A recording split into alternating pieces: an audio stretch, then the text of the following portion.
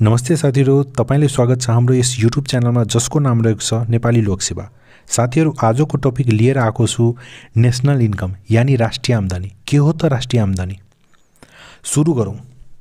National income refers to the total value of all goods and services produced within a country's border in a given period of time usually one year it includes the income earn by individuals businesses and the government in the form of wage profits interest and rent भनेको कुनै पनि देशका सम्पूर्ण उत्पादनका साधनहरूले उक्त देशको भौगोलिक सीमाभित्र एक वर्षको अवधिमा ज्याला लगान ब्याज र नाफाको रूपमा जुन आर्जन गरेको कुल आमदनी हुन्छ त्यसमा के गर्छ भने एनएफआइए यानि net factor income from abroad त्यो सबैलाई जोडेर राष्ट्रिय आम्दानी निकाल्ने गरिन्छ। यसमा के के हुन्छ? अब यसमा इङ्ग्लिसमा मैले लेखेको छु के के हुन्छ? भनेको total value of all goods अब भ्यालु केमा निकाल्छ? कुनै पनि कुराको हामी भ्यालु केमा निकाल्छौँ? पैसाको मौद्रिक मापनमा।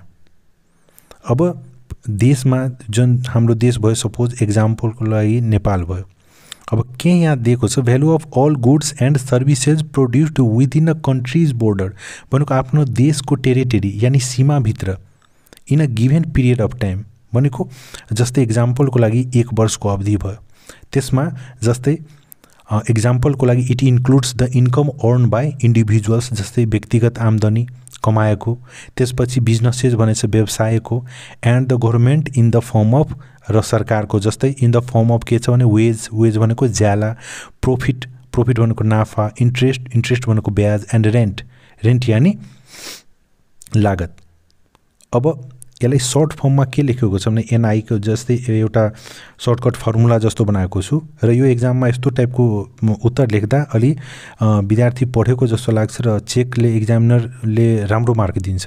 जस्तै एनआई इज इक्वल्स टु मैले के लेखेको छु? W plus R plus I plus P plus NFIA अब एनआई भनेको नेसनल इन्कम भयो र के के जोडिएको छ national इन्कममा? W means wage and salary. ज्याला वा तलब या ज्याला र तलब त्यसपछि आर भनेको रेन्ट लगान। त्यसपछि आई भनेको इन्ट्रेस्ट या ब्याज। पी भनेको प्रफिट र नाफा। भनेको यो जुन कुराहरू छ यो सबैलाई जोडेर चाहिँ नेसनल इन्कम राष्ट्रिय आम्दानी निकाल्ने गरिन्छ। एनएफआइए अब के हो? एनएफआइए के हो भने जस्तै अब हामीहरू आफ्नो देशको जस्तै इम्प्लोइमेन्ट कोही रोजगार गरिरहेछ त्यो पनि त नेसनल राष्ट्रिय आम्दानीमा जोडिन्छ। सबै कुरा जोडिन्छ राष्ट्रिय आम्दानीमा। इन्कम हुनु पऱ्यो अब के छ भने यसमा के छ भने अब एनएफआइए भनेको बाहिरको जस्तै बाहिरको इक्जाम्पल गर्दा जस्तै कोही मान्छे बाहिर तलब कमाइरहेछ। अब नेट फ्याक्टर इन्कम त्यहाँको कमाएको आम्दानी हाम्रो देशमा हो भने त्यो पनि हाम्रो देशको त इन्कम भयो त्यो पनि जोडिन्छ। र के को बेसमा निकाल्छ जस्तै नेसनल इन्कम के को बेसमा निकालिन्छ? जस्तै इक्जाम्पलका जस्तै जिडिपी भयो ग्रोस डोमेस्टिक प्रडक्ट जस्तै जिएनपी भयो ग्रोस नेसनल प्रडक्ट त्यसपछि यो एनएनपी नेट नेसनल प्रडक्ट योहरूको चाहिँ बेसमा निकालिन्छ भनेको मौद्रिक मापन गर्छ। देशको इन्कम जति पनि आम्दानी हुन्छ त्यसको मौद्रिक मापनलाई चाहिँ नेसनल इन्कम हुन्छ बुझ्नुभयो? अब यसलाई एउटा उदाहरण लिउँ जस्तै एक उदाहरणको रूपमा जस्तै नेपालको राष्ट्रिय आय अध्ययन गर्दा यदि नेपालमा एक वित्तीय वर्ष जस्तै कुनै फाइनेन्सियल इयर छ जसमा सय अर्ब रुपियाँको उत्पादन भयो। मानौँ इक्जाम्पलको लागि एक सय अर्ब रुपियाँको उत्पादन भयो र त्यसमा बिस अर्ब रुपियाँको आय आय छ भनेको इन्कम छ। भने त्यो वर्षको राष्ट्रिय आय कति हुन्छ? पाँच अर्ब रुपियाँ। भनेको सय जस्तै कुल उत्पादन सय अर्ब भयो इन्कम भयो बिस अर्ब र राष्ट्रिय आय भनेको नेसनल इन्कम कति भयो? कुल उत्पादन माइनस आय। एउटा यो सामान्य उदाहरण छ। त्यो कति भयो? पाँच अर्ब भनेको एउटा सिम्पल इक्जाम्पल छ।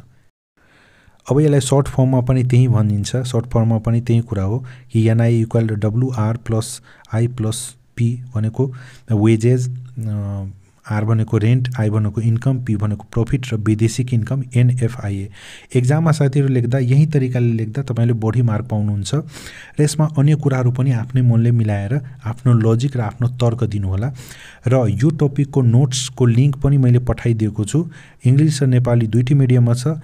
डिटेल्सको लागि तपाईँ त्यो लिङ्कमा क्लिक गरेर यो डिस भिडियोको डिस्क्रिप्सनमा लिङ्क छ। त्यहाँ क्लिक गरेर यसको पुरै डिटेल्स पढ्न सक्नुहुन्छ। Thanks for watching this video bye